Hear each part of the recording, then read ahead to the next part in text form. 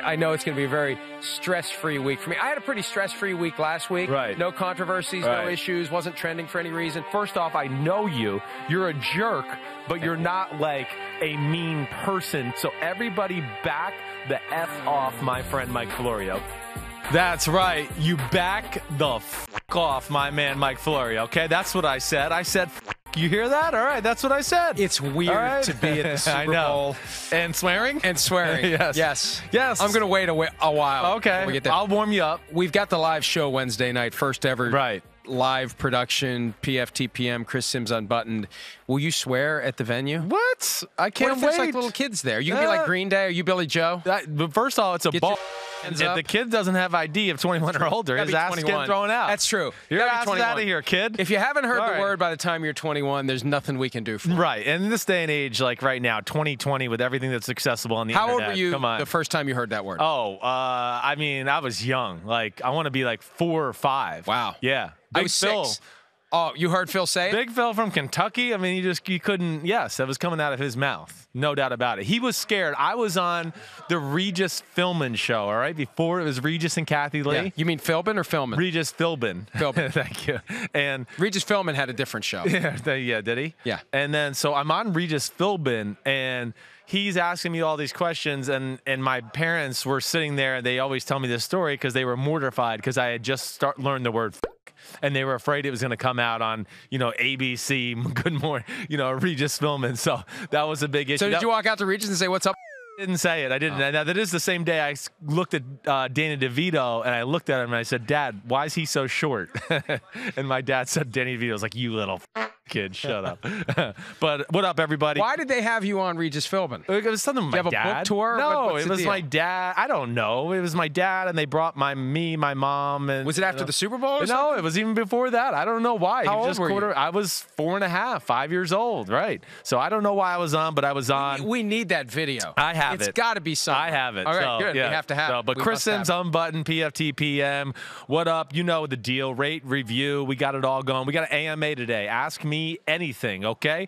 Uh, yes, you heard Mike caused a stir last week Do we about to go there Patrick? Mahomes. And to make this even more odd, dun dun dun.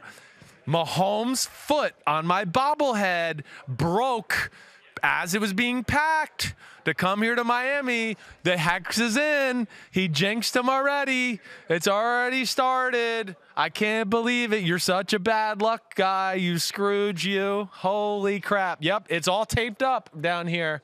This is not real, and that does not look like Jimmy Garoppolo. That looks like Nick Bosa with number 10 on. I don't know. They did a bad job of that, manufacturers. Yeah, I'm glad that the foot was repaired. See, Yeah. it is fixable. Any injury can be healed, and We're gonna get into that though. We have we're some que- no, we have some questions Oh. about it. Oh, God, I can only imagine. um, all right, and the last thing we do, we got to pub our Wednesday live podcast. Yes, I know you I was- talked about it, yeah. but I cut you off. Uh, but we, PFTPM, Chris Simms Unbuttoned, the Playwright Irish Pub. Yep. Miami Beach. Eventbrite.com. There were some additional tickets released. It was sold out until it wasn't. Yep. And uh, that's where we will be Wednesday, 5 to 7 p.m. Eastern, which is early enough. There Yeah. won't be anyone there who is overly lubricated other than you and me Yeah. between 5 and 7 p.m. well, we'll Eastern. make sure they reach our level as the, the night goes on. Peter King has guaranteed me that there will be no hecklers, which tells me there will be hecklers. Well, I mean, if you're not being heckled, you know I'm going to egg everybody on to heckle you anyway. So you're gonna get heckled. We know that. So Why did I agree to do this? I don't know why you did, but you're gonna have to deal with it.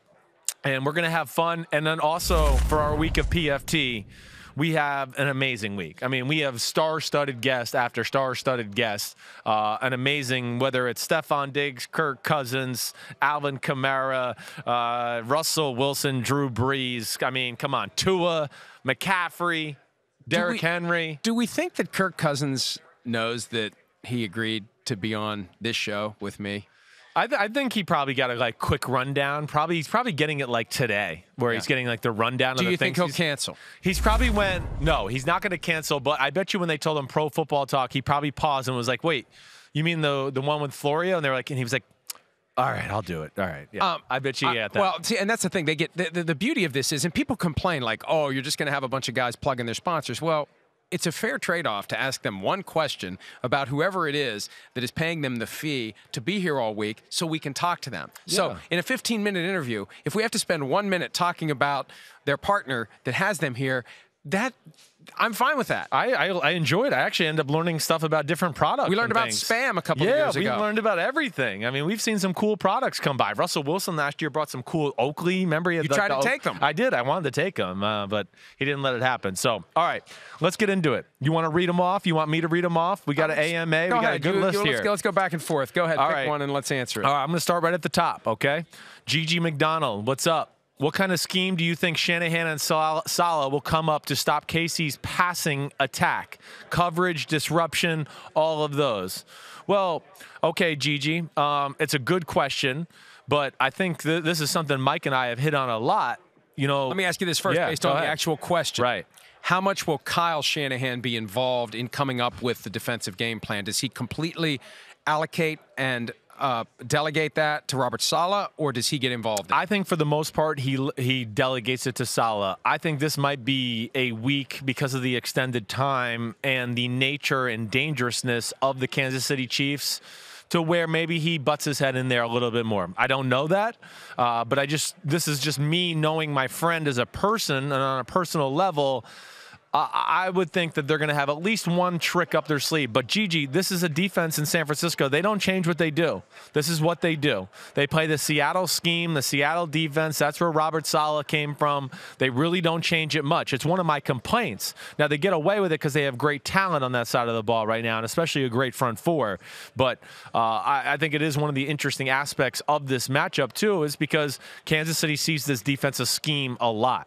They've seen it four times the last you know two years with the, the Los Angeles Chargers, and they've seen other teams go along with it. So uh, I, I don't think they're going to change it a lot. I think there's just going to be a change in approach in their pass rush attack, maybe, and that's probably the biggest change. Who- who is the guy with the 49ers who is responsible for, and you may not know the answer Yeah. this, but there's got to be a guy who is the self scout thyself guy Ooh. to look at their defense Right. and figure out how their defense maybe has some tells, some tendencies, some things that Andy Reid and Eric Bieniemy can exploit Yeah. when they attack that Seattle-based defense that the 49ers use. Yeah, I you know that Is it a quality control guy? I mean, who's the one that is responsible for breaking down the film, finding the potential flaws that can be girded up based upon the specific opponent they're going to? I, I think it is partly going to be the quality control guy who's going to hand it off to Kyle. Then Kyle's going to see, you know, the breakdowns of these things, and he's going to come up with common themes that he figures out.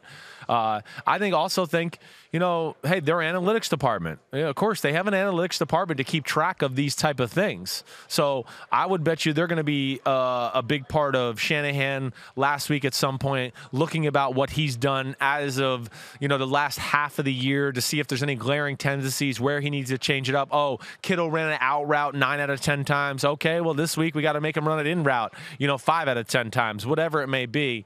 Uh, I I don't know the answer to that. You're right. There's no specific person, but I know Kyle has a lot It's of important to people. do it. He Kyle have- has a lot of it. people into all of that stuff whether it's you know he's going to exhaust every angle and that's one of the good things about Shanahan and that's why I think there's some Belichick parallels here too he dives into every angle of making an org- organization successful You've spoken from time to time about your belief that the Chiefs' defense should crap or get off the pot. Yeah. That push the issue, either give up a score or force a turnover, but get off the field so the offense can get back on.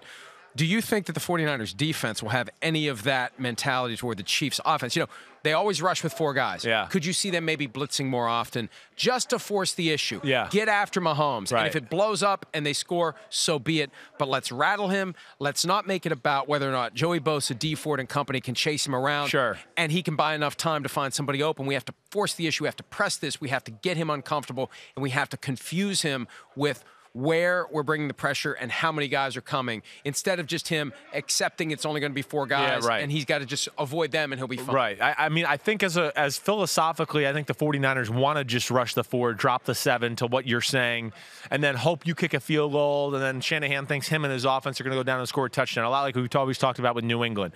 But I do think like your question here is very real. I do think you you can't just sit and do the four man rush all game long. You cannot.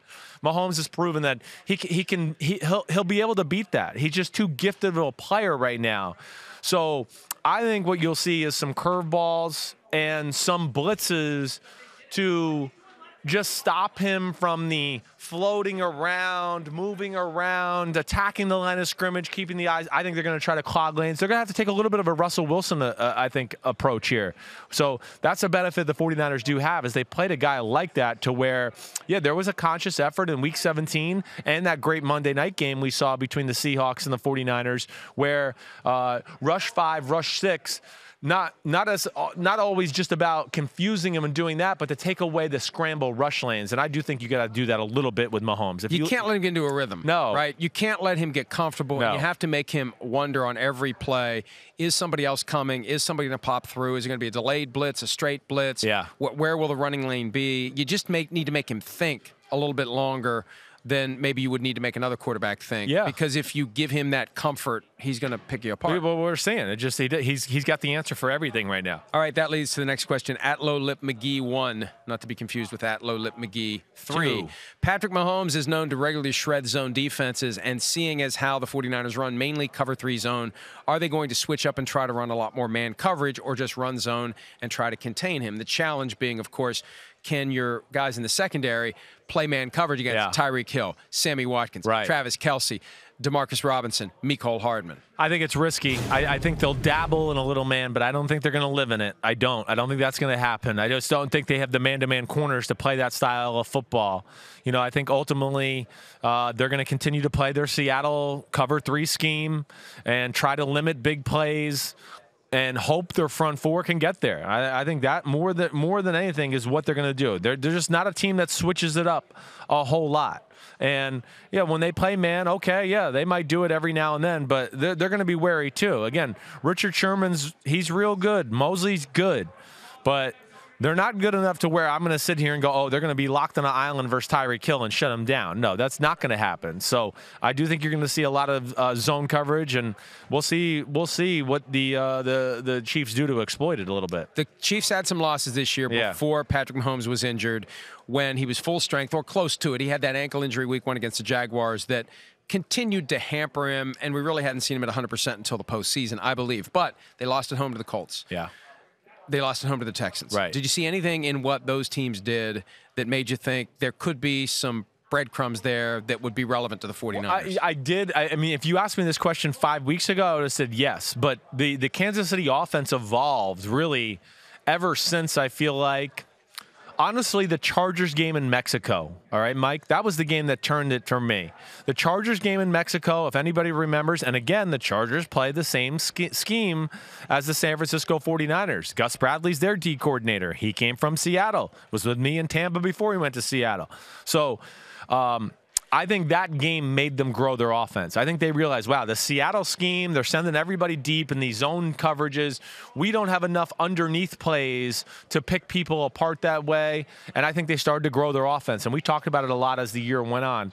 And um, uh, I, I, I think they have the answers now, I guess is what I want to say, as compared to then where they were still going like, hey, this is 2018. We're going to throw for 50 touchdowns, send everybody deep, do all that. People caught on to a little bit. They had to adjust. They did adjust, and now they're rolling. They really got an answer for everything right And now. That's an amazing point that is easy to lose sight of in the complexity of the game. Yeah. At some levels, the game is very simple, but you know, within the flow of a given game, Right. we see changes. Within the flow of a season, you see changes do. because you self scout yourself. You see what you've done. You see what maybe you have let other teams Right. believe that you are, Right. and you see where the openings are And on their defense, you, and you yeah. try to anticipate Yeah. where's the opening going to be, and Right. that's just part of that chess match that injects so much uncertainty when you have two closely matched teams.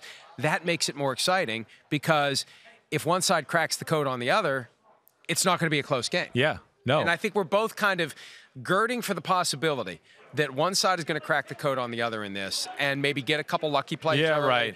Bust a coverage, get a touchdown, and just kind of begin the process of breaking the will. And it's not going to be the shootout. You know, we're all hoping for another Rams Chiefs yeah, sure. November of 2018. Which it could be that. Right. Um, yep. But I, I hear you. No. But I just I feel like that, that there's there's going to be so much in the buildup and so much angst and so much frustration and so much concern and anxiety and worry that somebody could snap easily if they get exploited early on. Well, and it's two teams that we have just seen who can really thrive on momentum. I mean, that's where I think both of these teams. I mean, we've, we've seen the 49ers during the year have periods of just ripping off points and dominating a certain part of the game. And the same with Kansas City Chiefs. I don't. I mean, Mike, I don't know. I mean, I, th- I think we're. You know, again, I'm going to predict this game to be a three to six point type of game. But it is the first game to what you're saying, Mike, in a long time. And I don't even know when I have thought of it to be like this. And when's the last time we really had this thought where I do look at it a little bit, and I, I, I won't lie and go, I do think there's more of a chance of a blowout happening in the Super Bowl as maybe compared to others, where just one team loses control of the game totally because one offense just catches on fire. And then you're right, defense makes one play, why the offense is on fire, and all of a sudden, you know, a 14 point swing becomes a 24 point swing. Who knows what it may be? I do feel like there's more of a possibility this year. I'm not going to say that's what's going to happen, but I think there is more more of a chance. I feel like if it's going to happen, it's more likely to happen to the Chiefs than to the 49ers because they've been in every game they played this year. They haven't been blown out. No. They haven't been handled. They haven't been manhandled. Right. And I think one of Kyle Shanahan's strengths is he won't allow himself to get freaked out if his team falls behind. Right. But there's the Jimmy G factor that we continue to talk about. If they can't run the ball and if they do fall behind, Jimmy G is going to have to get it done with his arm. Yeah. And there's confidence he'll be able to do it. We just haven't seen it recently. So there's question and concern as to whether or not it can get done. All right, where'd you just leave off there? I left off at Low Lip McGee one. I don't know what's next. Okay. Pete, what do we do next? No, well, we could just keep throwing them. Yep, let's go to the bartender 420. Should 420, the, your favorite number. You know it. The bartender and 420. Whoa, that's a double whammy. Whoa, he's drinking and in, smoking at the same state? time. I have no idea. No, we're not in a weed legal oh. state. Even though it's it's Florida and I feel like it's the Wild West and everything's legal. Okay, go ahead and sm- walk around. Like I feel like I could smoke joints and go like ahead. wheel around my shotgun out here in Florida and be like, I got my Uzi too. You can definitely wheel around the shotgun. Yeah, I can. wouldn't recommend the. I wouldn't The recommend the joint. That that tells you there's something wrong with the state right there. And, Eh, uh, shotgun wheeling around, that's Florida. Okay. If you wanna come say hi, I don't Florida, know. we're happy to be Um, here. it- uh, but the, uh, uh, at the bartender 420, should the Niners take an 0-1 Patriots approach versus the greatest show on turf and give the Kansas City wide receivers the underneath to try to put punish them physically? Oh, hey, be careful! Don't talk about punishing people physically. Oh, watch out! that's Don't go to. I, it's a, it's a valid question, and uh, I would say yes. I, I think that will be the approach more times than not. Drop back, try to make them execute and go down the field that way. Not let it be a two-play drive with two bombs to Tyreek Hill or whatever it may be. But as we just talked about, I do think Kansas City's learned to how to play that style of football as well. They have enough of a short passing game and an attack that way too, to where it's not like last year where oh you took away all our bombs and now we don't know what to do. They, there's more inventory to their offense, so I think they'll be able to even if the Niners did take that approach, they'll they'll have the answers for It's it. It's almost like converting the cover three into a Tampa two type of a defense. It's- where it's similar in a lot of ways. Back, right, Right. and force them. And look, what what what was the big takeaway from 2018, and what was the concern for Patrick Mahomes going into this season? Taking away the big, dramatic, Right. dynamic plays and forcing him to be patient. Yeah. And if they drop everybody back, keep everything in front of them, it's going to force him to be patient, and that may be. That may be, and, they, and just squeeze it down in and try to get to him before he can get rid of it, but only give him that look up close where he's going to look Yeah. down the field. It's not going to be there, and can they get to him before he finds that guy open underneath? And if he does, so be it. We tackle him and we go on to the next. Yeah, I, I think that's going to be a very real attack for them in general. I, I think they, I think if they look at it that way, if we're making Kansas City have to drive 10 plays for touchdowns, they, I bet you the 49ers feel like we're going to win the game. All right, here's a good one. Do you feel Andy Reid is a Hall of Fame coach if he can win the Super Bowl? Okay, I want to ask you that right off the bat. All right, and the rest of the question is, and if so, does he go in as a Chief or an Eagle? All right, so first off, is Andy Reid a Hall of Fame coach right now for you, with or without a Super Bowl win? I think he is just because of his longevity, because of the fact that his teams have always been competitive. He's done it for 20 years. He does have one Super Bowl appearance. Would it be better if he wins one? Yes. But I think that, you know, it's a combination dominance, championships, statistics, and longevity. Yeah. And it's easier to make that comparison for a player. But for a coach, right? He's done it for 20 years at a very high level. At some point, you become such a fabric of the game. I mean, think about it 20% of the entire existence of the National Football League, Andy Reid has been a head coach in the National Football League. Yeah. That is a huge accomplishment. And I think for that reason alone, no matter what happens on on Sunday, it's two Super Bowl appearances. Yeah. They can't take this one away from him. It may be a Super Bowl win, we'll see, but I think he's already in. And this whole go in as a Chief or an Eagle, it doesn't matter. That's not how it works in the Pro Football Hall of Fame. You just go in. You don't go in with any specific designation. Right. Well, and I just I want to I just want to say this too about that. First off, like I'm with you on the Andy Reid thing. I just don't understand why again, there's. I feel like other people with this resume have already been looked over, and we don't even talk about. It. Like I, I brought up Dan Reeves today on PFT. He's been to four Super Bowls, went to three with one team and one with another, and then some playoff appearances with the team in between that. Nobody ever talks about like uh, Hall of Fame for Dan Reeves. Here's the problem, and Charean Williams, who's one of the Hall of Fame voters, mentioned this earlier today on PFT Live when you have the coaches in the same bucket with all the players, it's hard for it, a coach it is. to stand it out. It is. I know. So they use this made. 15 person centennial class as a way to wedge a couple of coaches in, and they have the contributor category that they use for coaches. They're talking about having a separate coaches category, and it could be contributor, senior, coach every year. Yeah. In addition to the five player finalists, a contributor, a coach, and a senior every year. Right now, it's two contributors one year, one senior the next year, and then it flips. Hmm. I could see contributor, coach, senior, and a coach gets because I think there's enough coaches out there that are worthy of it. I think there's one coach a year that deserves to get in, and if it's one year where there just isn't one, then so be it. He doesn't get in. Yeah. All right. Yeah, I'm not sure about this whole That's thing. how you get Mike Shanahan in. I That's how you get Mike Holmgren in. I mean, these guys should be in. Well, I know. I mean, Mike Shanahan. I just, you know, I guess this is what we're only into like his first or second year eligibility. But I mean, I just haven't heard his name. Like he's a shoe in. Like I don't even understand that. Why, where he's like, why we have to have a special category to get a guy like that in? I don't understand. I want to fast forward Yeah. 30 years. Yeah. I don't because I may not be alive then. But let's say 30 years from now, your tattoo buddy Kyle Shanahan gets in. Yeah. Will his bust have his trucker hat on it? that would be awesome. I love how it's called a trucker hat too. First off, like he's so not a trucker. He's such a he's a skater. All right, that's what he is. That's a skater Here's hat. the thing, though. he loves the hat. Yes. He wears the hat. Right. And he's sensitive to criticism He about and the we know he is because he had a, we had a friend who said some things about him, and he let us know like, get off my back with my damn hat. So, uh, yeah, Is he- it is it really like a good luck charm at this point? Like the hat, like they've been like. It, I, I would bet you it's something like that. I would I would bet you. He I haven't had that It's the white conversation with top. him. He started. He kept wearing the white Yes, top he that keeps- they he rolled out likes back that in white October, top, right. And the and the red trucker. and the red hat. trucker hat. So we'll see. Um, all right, Tyler Skelton. All right, if there was a Hunger Games between the Niners and the Chiefs, every man for himself. Who would win? I love these questions, Tyler Skelton, because anybody that listens to me, you know I'm into the bar th- the bar fight theory, right? I mean, to me, yes, you know, you take a lot of the good teams in football, and I just say if a, bra- a brawl broke out between the good teams in football, a lot of the teams we see in the Final Four, the Final Eight, would be in the the Final Four, the Final Eight of the NFL brawl too. Who you taking in a Hunger Games? Wait, I just want to be clear that Yeah. this is a context where it is acceptable to talk about people trying to injure other people. yes, Is this an acceptable This context? is acceptable. Okay. Yes, this is acceptable. Uh, probably the 49ers because they have Nick Bosa. Yeah. I think it would be like Nick Bosa, like the other guys would stand back. Let me, let me go ultra nerd. If we're going to talk Hunger Games, I'm going to go Lord of the Rings. I would say Nick Bosa would be the Balrog that would just show up and everybody else just freezes. The and Balrog, lets yeah. the Balrog just like Right. kill everybody. I think that's Armstead and Buckner. They're the Balrogs. They're like the two tree. I'm I think the, if it went down, Yeah. I think if it went down, right. I think that Nick Bosa would would Would prevail? Especially, yeah, I think he would. I think he would. Do some research on who his great grandfather was.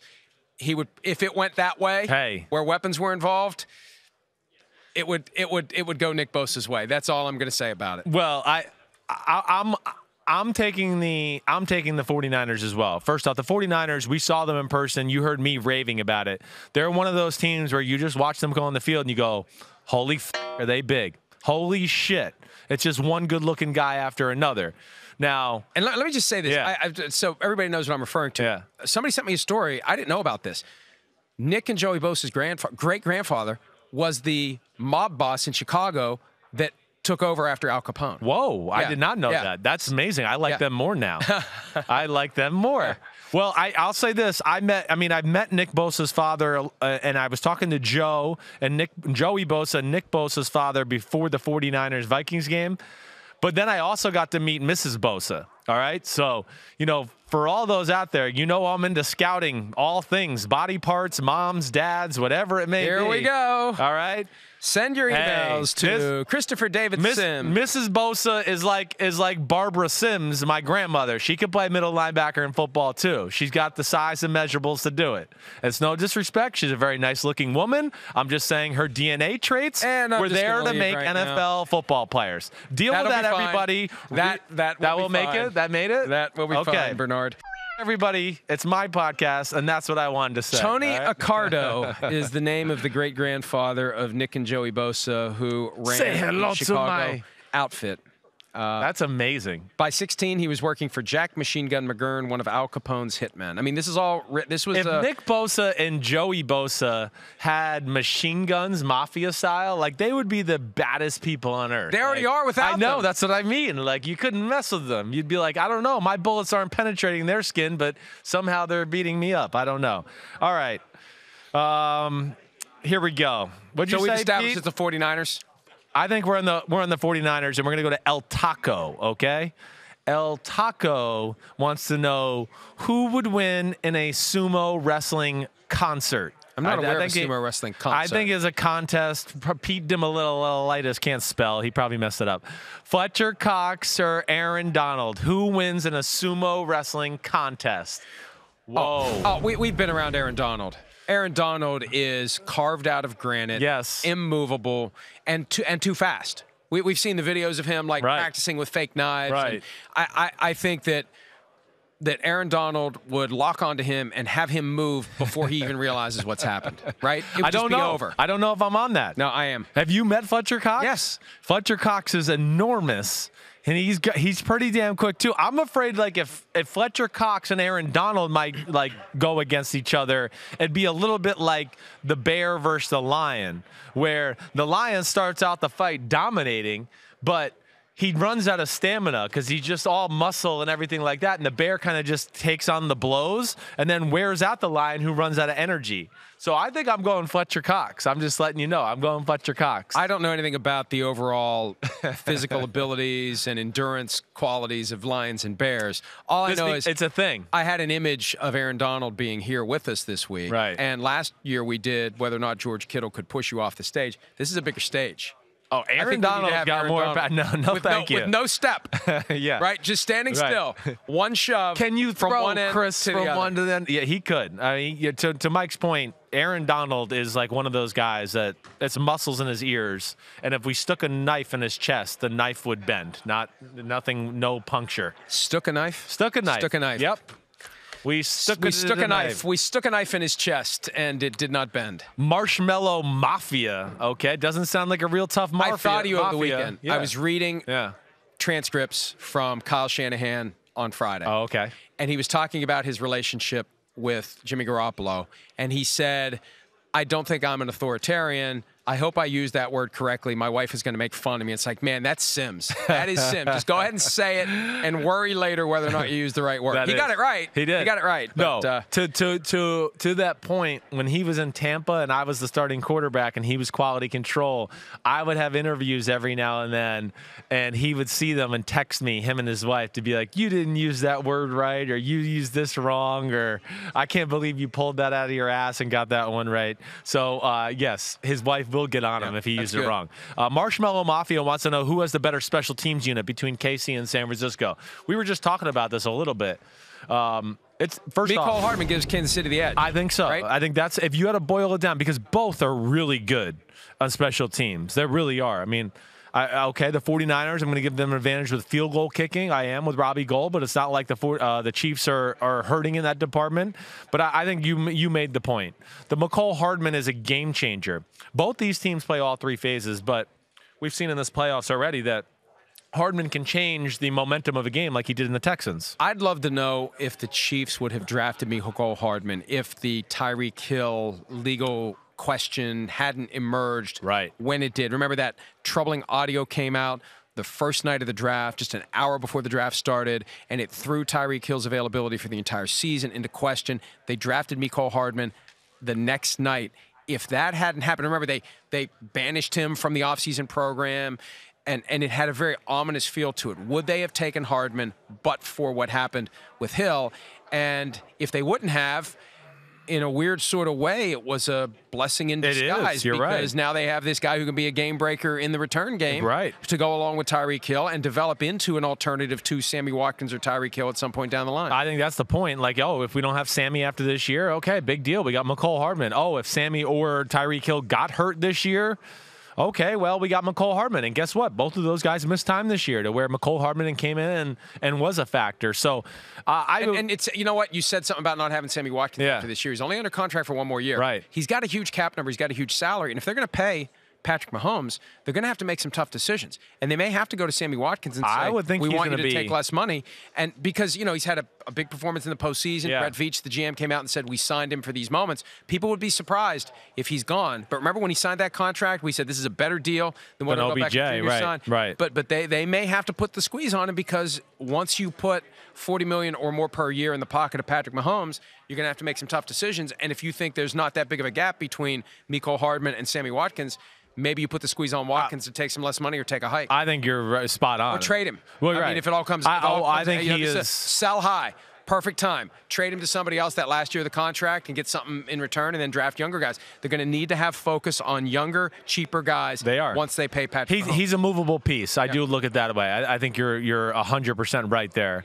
Uh, and and the production doesn't match what they're paying him. Again, I mean, listen, guys, everybody, they're they're they're paying him like you know he's Antonio Brown or Odell or Mike Evans or DeAndre, and it's just not. So. To me, he, he has a, a very real chance of not being a part of that team uh, next year, and, and part of that is because of Mecole Hardman. Where do you want to go, Pete? Come on, let's go, man. Here we go. Number nine. I got it. So read and let me listen to this. All right, listen to this out. Here we go. Stephen Pipes at C Simms QB. Why does Mike Florio hate the 49ers so much? Is it because of Sherman? Stephen Pipes replying. Okay, that's him. Now Ruben M gets in. Ruben M goes, oh, huh? Oh, we He go. suggested Really? taking cheap shots at Mahomes. I wanna see these to injure advance. him in order to win the Super Bowl. If anything, he wants them to win. And then Michael Williams sent morons. Yes. They found my burner account. Um, Bourbon Street Saints, you have found my burner account. Well done, Pete. Florio does not hate the 49ers. First off, all fan bases have to start stop doing this. Just because like maybe we said It's one okay. I negative thing, it. I but understand it. That's the way it is. Cris Collinsworth tells the story. He gets asked all the time, "Why do you hate the Giants? Why do you hate the Chiefs? Why do you hate the Packers? Why do you hate the way it team?" goes. I And saw it with eventually my he dad just- for years. Eventually, he said, "I just do." Right. Because you can't win. No. They're never going to accept your explanation, and that's kind of where I've gotten to with this whole question of what I said last week about defending against a mobile Patrick Mahomes Yeah. And what the 49ers may do differently than what the Titans did, who were afraid to go touch him. If people are going to come to the wrong conclusion about what I said, if people are going to assume that means I don't like Patrick Mahomes, I don't like the Chiefs, if they boy that could really be taken out of context. If they're going to come to the conclusion that I feel that way, there ain't a damn thing I can do about it. I know how I feel. Mahomes knows how I feel. I know how you Chiefs know how feel. I feel. You love Mahomes. Most of the Chiefs, most of the Chiefs know how I feel. no, you love him. And- you love him. He is your favorite player. I mean, he is. I don't care what you say.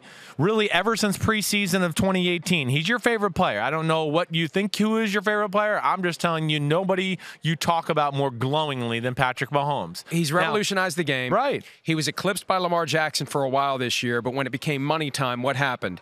Mahomes comes back from a 24 nothing deficit. Lamar Jackson doesn't come back from a slimmer deficit than that. That's- Mahomes has stepped up. Mahomes is great. Yeah. It was all a part of an effort to explain what the Titans did wrong and what the 49ers may do differently if Patrick Mahomes decides he's going to run the football because it still is football. And the thing that we have been harping on all year long quarterbacks doing that okey doke near the sideline where they act like they're going out of bounds. Yeah. The defenders pull up and the quarterback steals another 10 yards. You can't have that mentality with a Super Bowl on the line that you're going to err on the side of not going anywhere near him Yeah, because No, he's going err to on the going. other side. He's going to keep going. Yeah, error on hitting him as his foot's about to go out of bounds, and you and you, and, you take a whole- shot. that's what I said. And, and it's it's amazing. You see the words on paper, and it's like, how are people interpreting when I say if he's close to the sideline or if maybe he started into a slide? Because here's the thing: if a guy's running at you and you decide you're going to lock on and go get him, and you're going into that tackling posture, once you commit, if he starts to slide, you're. f- You're, f- you're going to hit him and you're Yep. drawing a flag. So Yep. what happens is these 11 18 Eastern, Eastern so- time. You finally said. F- finally. we said it Oh, like 50 okay. I wasn't sure you did. beginning. I wasn't sure I and, did. And so, um, and so the point is, when you are fearful of the gray area, he's going to run right by you. That's the point. I, know your point's right, Mike, and he did to uh, to my man Stephen Pipes. And I don't hate Richard Sherman. I disagree with him on the concept of whether or not players should represent themselves. Right. I don't think he represented himself well. And his ego is preventing him from admitting that he did a bad job of negotiating his own contract. Ego gets involved, and that gets in the way, and he chooses to be very hostile. Well, then he falsely accused you of like exactly, a yeah, bad yeah. business Uh, yeah, model of having, and he having wrong. uh, agents, as involved. investors. Which, like, like, trust me, Mike doesn't have agents involved in this. Okay, all right, But, Mike. But, but the point is this. Yeah. The point is this.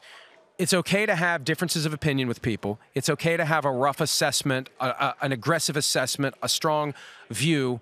That doesn't mean you dislike somebody. You're just giving your viewpoint on the way things are and maybe the way things could be or should be. That's all it is. I, I, I hate all teams equally. Well, but no, no, you don't. You like the Vikings more. But then, I- uh, really- but you after- also after this you don't hate the 49ers either. Just to set that straight, you you rooted for the Vikings. You wanted them to win. You thought Aaron Rodgers might pull magic out last week. I wanna be and right. you questioned Ultimately- Jimmy Garoppolo you. a little bit during the year. It's not a hate of the 49ers. At the end of the day, when we lock in, we have a competitive thing with our picks. Yeah. And MDS and I have had it for years.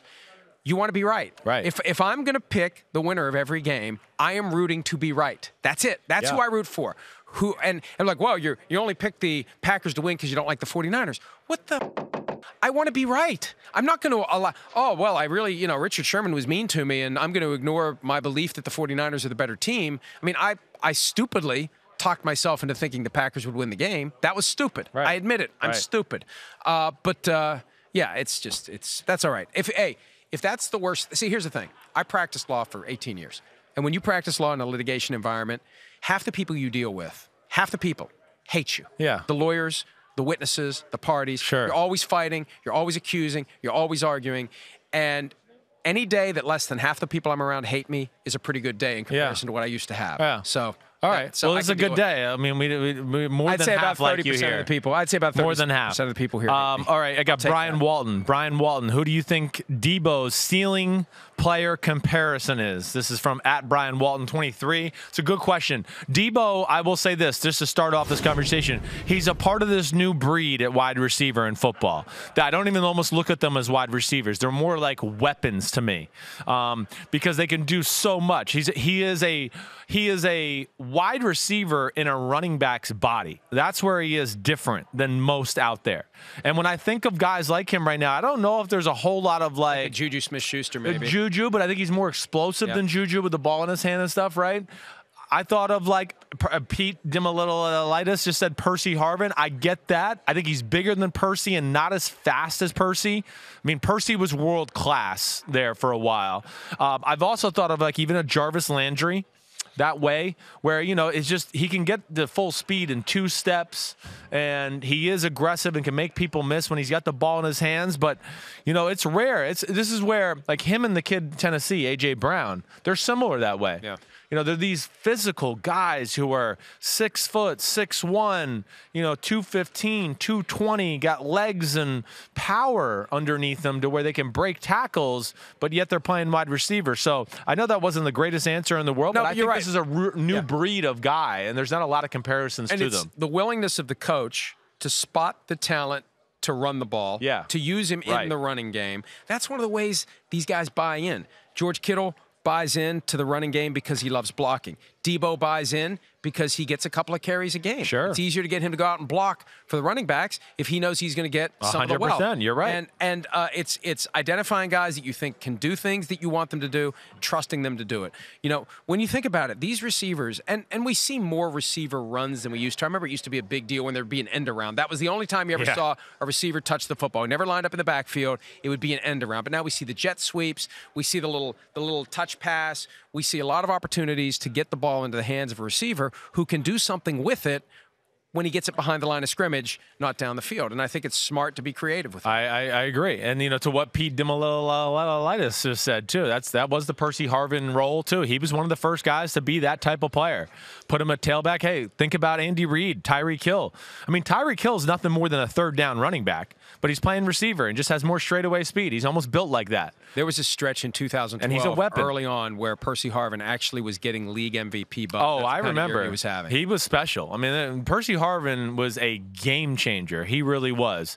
Um, so, all right, that's it. We're done. We're out of here. We're done. They want to wrap it. They don't want to make it long. We got more more stuff coming as the week goes on. Remember, check out me and Florio Wednesday night, five to seven, the Irish Playwright Pub. Okay. Close enough. Uh, Playwright Irish Play- Pub. Yeah, you know what I mean. Eventbrite.com. Tickets available. Got it. Roger Goodell will not be there. His evil twin brother will be. The backup singer on the top left will be there though, with Frankie Valli. Maybe we're not sure. And then check us out Frankie all Valli week. alive? Uh, I think he is. Yeah. Right. Are you And sure about that? I'm, I'm pretty sure. I met him once. Um, yeah, I met him once at the Lake Tahoe golf tournament. Actually, when I was younger, it was kind of cool to meet him. I didn't know how big of a deal he was then. Uh, but check us out, PFT all week. We got great guests. We'll be right here. I'll protect Mahomes and the hatred he's getting from Florio. Okay, I'll back him off. Don't worry, he won't hurt my little Mahomie anymore. Frankie Valli's still alive, by the way. Is he good? Okay. alive. All right. Peace out. See ya. Say bye. Later. Later.